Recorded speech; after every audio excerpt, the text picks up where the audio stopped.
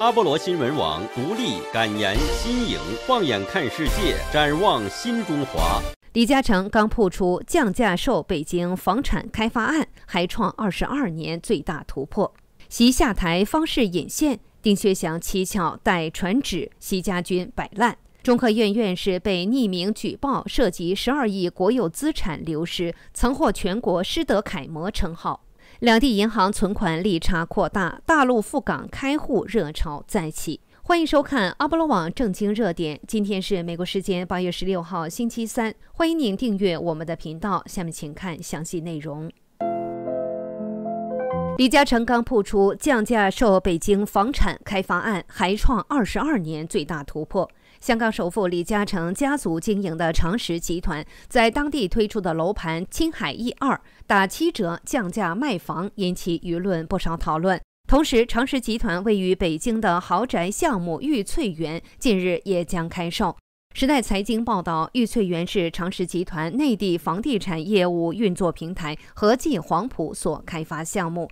整个姚家园项目地块由和记黄埔于2001年拿下，至今开发周期已长达22年。玉翠园此前预告开售时，吹风价定在每平方米至少在十万元人民币。不过，该项目最新获批预售价显示，这批取证房源共九栋楼，四百七十三套房。分楼栋来看，九栋楼获批的销售价在每平方米九点零六七二万至九点九七四四万元人民币，与吹风价相比，玉翠园定价降了近一成左右。值得注意的是，玉翠园曾于二零二二年十一月二号开启验资，购房人需在自身账户存有五十万人民币或一百万元。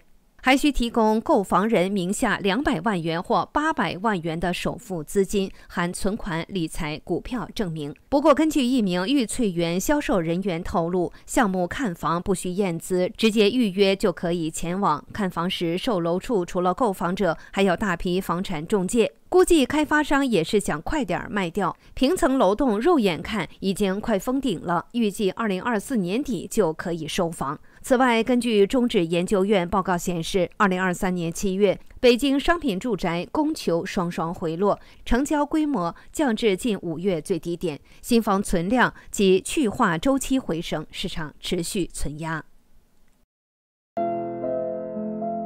习下台方式引线，丁薛祥蹊跷带传旨，习家军摆烂。阿波罗网记者孙瑞厚报道，中共国家统计局十六号公布七月国民经济数据，消费、投资、出口等拉动经济成长的三驾马车表现持续走下坡。在失业率方面，国家统计局只公布七月份的整体数据，未公布分年龄段的失业数据。官方还从八月起不再公布青年人城镇调查失业率。外界质疑，可能是数字太难看了，所以才会停止公布备受关注的青年失业率。也有指是习家军摆烂。法广称，北京当局不公布城市青年失业率数字，更支持了观察人士认定，中国经济不是当局宣传的向好，而是向坏，甚至越来越坏。投资、消费和进出口三驾马车几乎全面熄火。法新社分析列出几大因素：中国房地产大亨债务黑洞，一个一个都是天文数字；消费者没有信心，不肯消费；加之全球经济放缓，导致中国经济前景更加暗淡。观察人士指出，数字在中国一直是一个谜。去年十二月，北京当局突然抛弃动态清零，一时间感染人数、没命人数暴涨。惊慌失措的中共卫健委十二月二十五号宣布停止公布每日染疫。以人数和没命人数，外界猜测可能数字惊人。当局正在修正。过了一段时间，中疾控公布了取消清零之后数周的没命数字，总共不足十万，令海外专家无人相信。只要数字不好听，就不公布。毛泽东时期搞大跃进，造成六零年代初期三年大饥饿，饿坏人无数，当局一直秘而不宣。另外，中国经济学者、上海财经大学校长刘元春等专家在一份报告中警告。中国青年失业问题如果处理不当，将会引发经济领域之外的其他社会问题，甚至触发政治问题。历史学家、美国飞天大学教授张天亮在其自媒体节目中也指出。中国经济恶化的速度远远超出了很多人的想象。中国的经济问题会导致社会问题，而社会问题又会导致政治问题。一旦出现政治危机，责任就会落在习近平头上。届时，习近平的权力不会一点点丢失，而是会脆断。他的下台一定是突然之间以一种类似于政变的态势，只不过我们不知道政变到底是军队、是八三四一中央警卫团，还是中共政府中的一些人、政治局的一些人突然之间发难。然后他的权力也就结束了。习近平最后一次公开露面是在七月三十一号，他当天为新上任的火箭军司令员王厚斌、火箭军政治委员徐希胜授予上将军衔。此后，习近平再无露面。在此之际，中共官媒新华社八月十五号报道，十五号丁薛祥出席大陆首个全国生态日主场活动，传达习近平批示并讲话。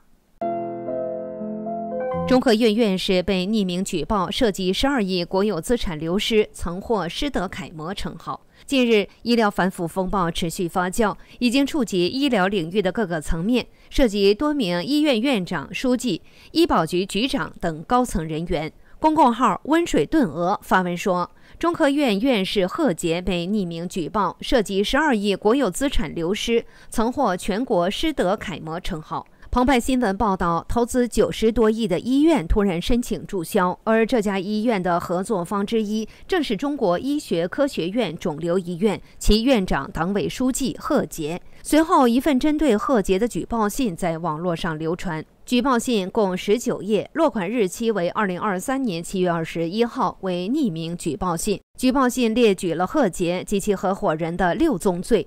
并附有二十八项证据材料，其中最引人注意的是违规私设民营医院，造成重大国有资产流失，危害中央保健安全等罪名。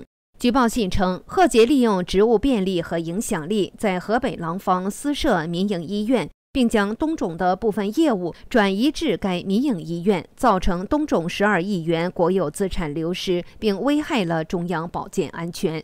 此外，举报信还指控贺杰存在其他违法违规行为，如利用职务之便为亲属谋取利益、滥用职权干预人事任免、擅自变更科研项目用途等。目前，上述举报信内容的真实性还无法证实。两地银行存款利差扩大，大陆赴港开户热潮再起。随着香港存款利率上行，让赴港开户热潮再起。以半年期定期存款为例，港元定存最高年利率可达到百分之三点六至百分之四点四三之间。七月二十二号上午九点多，香港西九龙站的某商业银行大门前已有客户开始排起长队，大多是刚抵港的大陆游客。现场人员说，只需凭港澳通行证、身份证就可以办理开户。但需一周后才可拿到卡，这也同时导致开户中介应运而生，甚至有中介表示，一些银行可直接面签，当天拿银行卡。有业内人士指出，目前来看，存款利差确实存在，但由于存在汇率波动等因素，换汇上车仍需谨慎。根据第一财经报道，八月初咨询香港多家银行的港元存款利率与大陆存款利率利差显著。以半年期定存为例，港元定存最高年化利率在百分之三点六至百分之四点四三之间，其中招商永隆银行、星展银行、南洋商业银行、中信银行国际满足一定条件，年化利率可达百分之四以上。我们每天在副频道发表一个新闻视频。阿波罗网是独立媒体，没有政府和机构资助。朋友们每一次按动油管的特别感谢，都让我们深深地感受到您的关爱和支持。尤其感谢纯粹为赞助我们而加入会员的朋友们。我们唯有做得更好，回馈您的帮助。请您点赞、转发和留言，让更多人受益。也请您订阅并打开小铃铛，选全部。我们也在干净世界平台开了频道，欢迎您在干净世界订阅我们，链接在视频的描述中。再会。